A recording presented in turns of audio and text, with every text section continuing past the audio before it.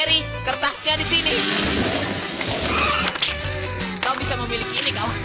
Karena yang aku butuhkan cuma bagian hiburan.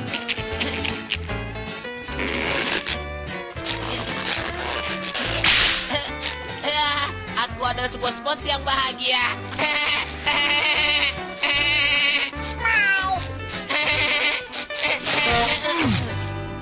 Kulihat kau punya kertas.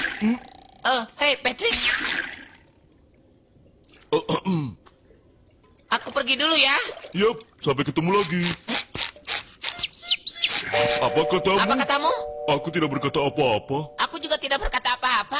Sampai jumpa. Sampai jumpa. Baiklah, jangan menggodaku terus. Aku tahu kau berkata sesuatu. Oh, tapi justru kau yang menggodaku, SpongeBob. Hmm? Ternyata ini yang menggoda kita. Ini bayi kerang.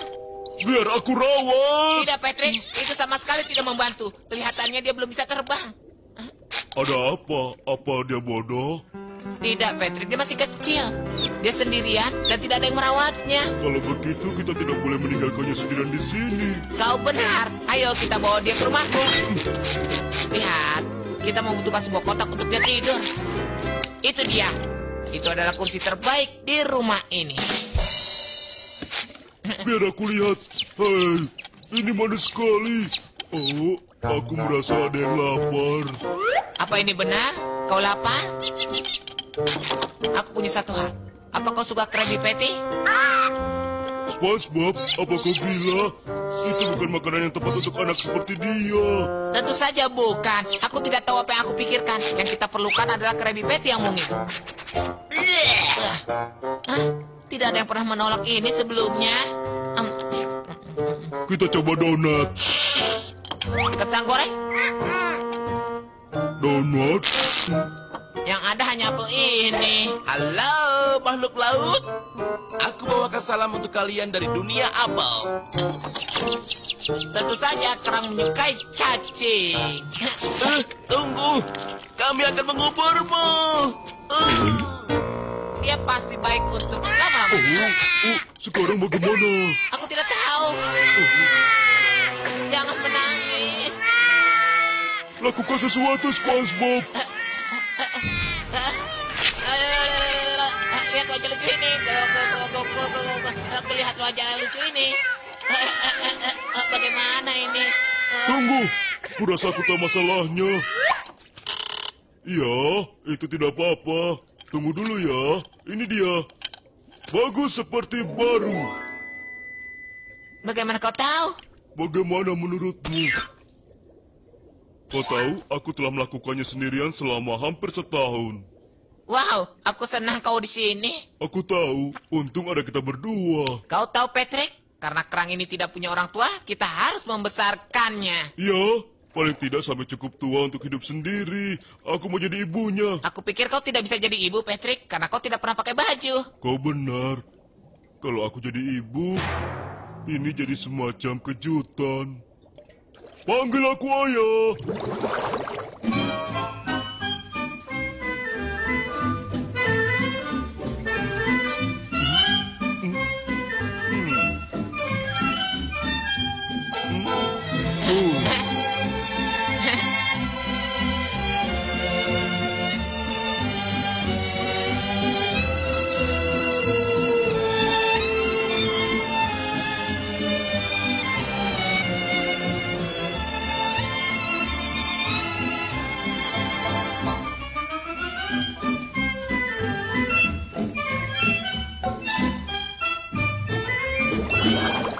Dia mengemaskan ya saat tidur. Iya,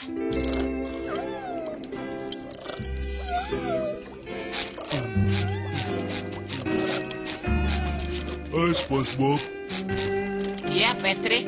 tidak kusangka jadi orang tua itu begitu mengasihkan ya. Aku juga. Selamat malam SpongeBob. Selamat malam, Patrick. Patrick, sarapan sudah siap. Baiklah, jadi orang tua membuatku lapar. Om, om, nom. Eh, Hai Junior, apa kabarmu hari ini? Hmm, SpongeBob, Iya, Patrick. anak ini berbau busuk. Bisa kau urus dia? Tanganku penuh dengan pekerjaan. Aku mau, tapi aku harus pergi. Pergi, kau mau pergi ke mana? Aku mau kerja, aku kan ayah, ingat? Maksudmu aku harus mengurus bayi ini sendirian? Kau bisa istirahat malam ini. Kalian berdua jangan membuatku kesal ya. Baiklah.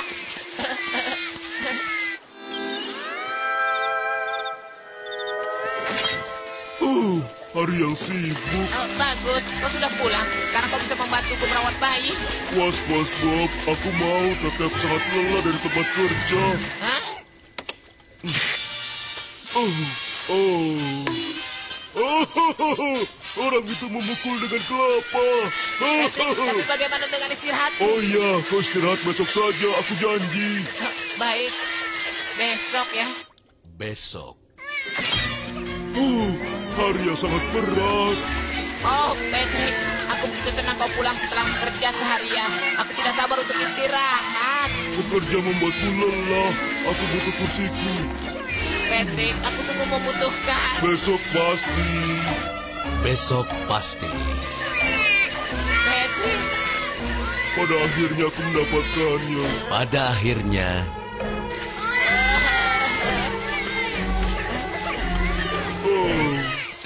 Oh, Patrick, kita harus bicara. Tunggu dulu, kita harus... Jangan menunda-nunda lagi, ayah. Hei, aku kehilangan kelapa. Kau sama sekali belum mengurus bayi. Kita sudah membuat komitmen dan kau tidak mengerjakan tugasmu. Kau tidak pernah melakukan apa-apa. Aku sudah ganti popoknya. Iya, satu kali. Dia hanya sebesar ini. Memangnya berapa banyak popok yang mungkin dia gunakan? Oh, itu terlalu banyak. Jadi...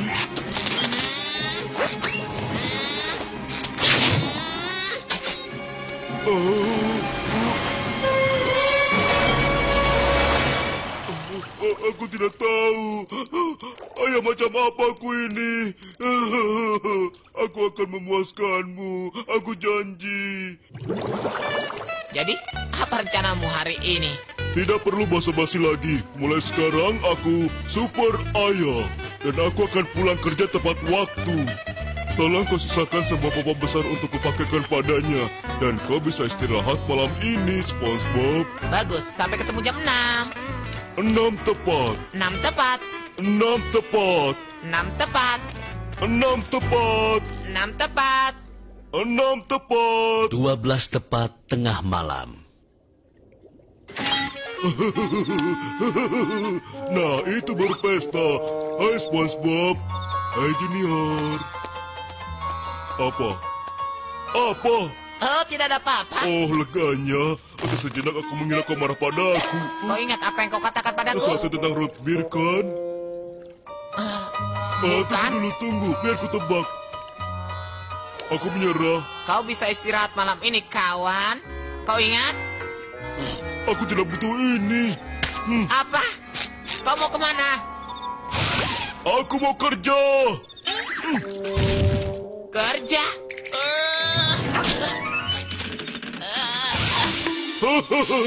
Dia memukul kepalanya dengan dua kelapa. Jadi, ini yang namanya kerja. Kau tahu ini tidak semudah kelihatannya. Terkadang aku harus menggerakkan antena, terkadang aku harus kehilangan remote, dan terkadang bokongku ini sangat gatal. Eh, kasihan, kasihan sekali. Ngomong-ngomong, kau lupa kopermu ya? Oh, jadi ini ucapan terima kasih yang kudapat untuk kerja lemburku.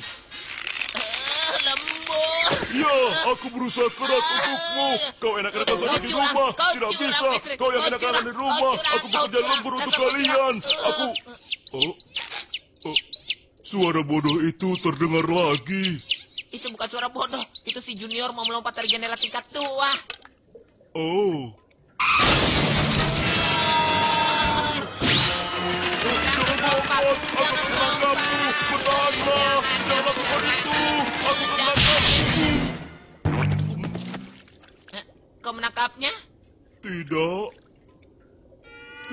Ini orang tua yang buruk.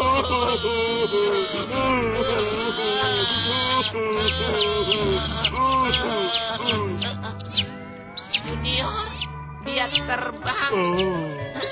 Dia sudah dewasa ya.